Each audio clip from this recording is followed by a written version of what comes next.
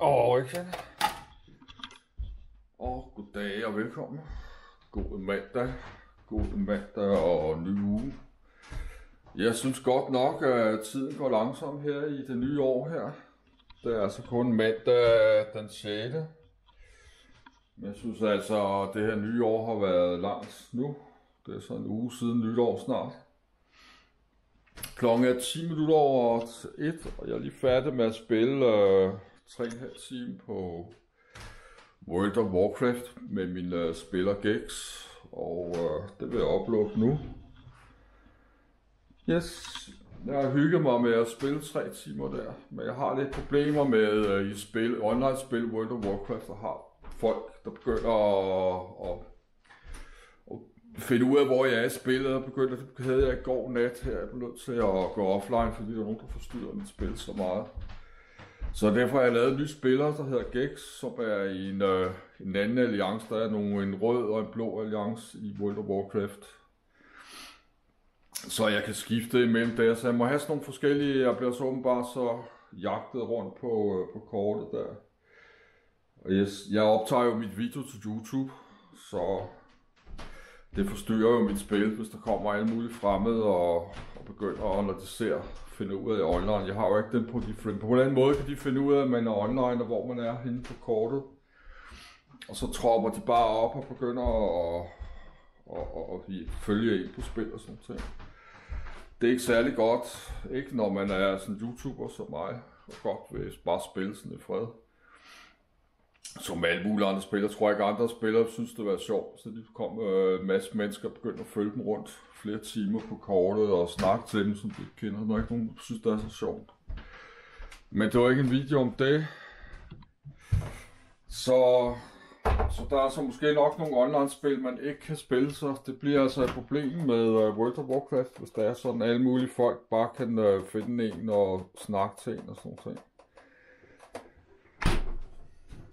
Men øh, jeg spiller lige, jeg er jo i gang med Dungeons 2, men jeg spiller lige mere noget World of Warcraft. Jeg har jo købt øh, uh, subscriber til spil, men det ved jeg ikke, om det spil, der tænker mig at sidde og skal bruge hundredvis af timer på. Det er jo mega stort spil.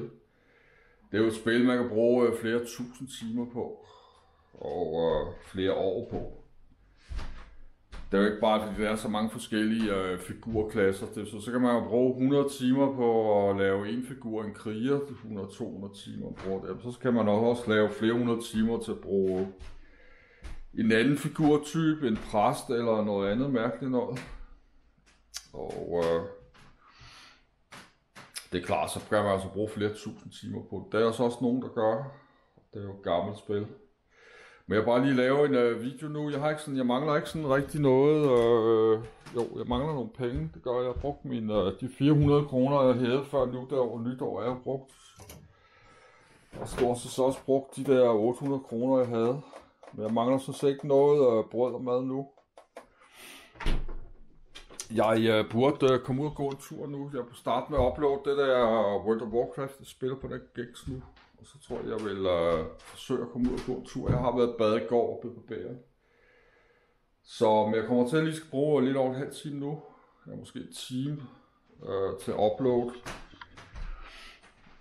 Nu, og når uploaden kører, jamen, så vil jeg forsøge at gå et par kilometer. Jeg skal også vægte, at jeg kommer ud. Jeg kan ikke sidde øh, den her lejlighed døgnet rundt øh, flere uger, måneder og træk, uden jeg aldrig kommer ud. Undtagen til øh, Netto, det dur altså heller ikke. Det er altså heller ikke noget rart liv. så... Men øh, jeg bare lige lave en video her i dag og sige god mandag, god Jeg har stadig liv i mig og sådan nogle ting. Men jeg venter jo sådan set på, bare det bliver 1. februar. Jeg venter på, at der kommer nogle penge igen. Og øh, til februar har jeg lidt ekstra penge, fordi der har jeg ikke øh, mit øh, halvårige forsikring. Yes, jeg tripper lidt rundt, fordi jeg var godt videre nu med min dag. Jeg har stået op her søvndrukken kl. 9, og øh, jeg sov 6 timer nat. Jeg har ikke lavet andet nu, jeg har bare stået op, og så har jeg spillet søvndrukken indtil kl. 1 nu, og så laver jeg den her video. Nu skal jeg ikke engang, jeg er ikke gået i gang med at klokken kvart over et. Nu skal jeg først tømme hukommelseskort. Det tager et kvarter 20 minutter bare at tømme kortet, og så skal jeg tage op. Så bliver klokken altså hurtigt to. Så inden jeg kommer i gang med noget som helst, øh, så er jeg to. Jeg har ikke lyst til at droppe det. Så skal jeg droppe helt og optage uh, gamevideo på engelsk og sådan noget ting. Ja, så hvorfor skal jeg så overhovedet lave uh, det her? Det er jo også bare at droppe det. det kan jeg, hvad får jeg så ud af det? Jeg får ikke noget ud af at bare droppe det. Hvis jeg bare dropper og optage gamevideo på engelsk, og uh, bare ligger og glor Netflix, og så kan jeg bare lægge. Så spiller jeg jo computer alligevel en gang imellem, men uh, så optager jeg jo så ikke på video. Det er altså lidt mere anstrengende at sidde og spille øh, computer, og så skal sidde og snakke flere timer, mens man sidder og spiller. Det gør man da ikke. Man er heller ikke nogen normal spiller, som sidder og snakker med sig selv.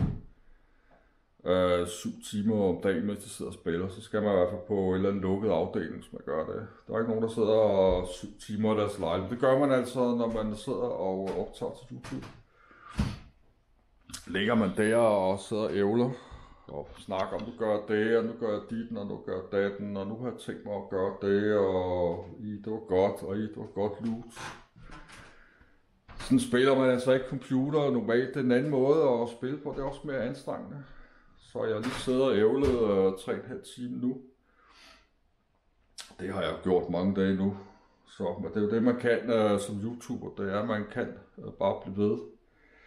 Man kan bare blive ved med at sidde og snakke og lave video ligesom denne her video, man ikke handler om øh, noget specielt, men det er jo så blevet til en øh, videoliv. Jeg har ikke nogen plan. Når jeg starter her, jeg har ikke nogen øh, scripts. Når jeg starter min video her, jeg har altså ikke øh, planlagt, at jeg skal stå og snakke om lige det her. Men øh, det blev så lige øh, om det her, jeg vil snakke. Så yes, jeg tripper rundt. Jeg tror hellere, jeg må komme ud og gå. For Jeg trænger nok til at gå. Det kan være næsten mærke. Jeg render rundt her i min lejlighed her. Men jeg kan I have en god uge også. Jeg vil så bare stoppe videoen her. Yes, cut.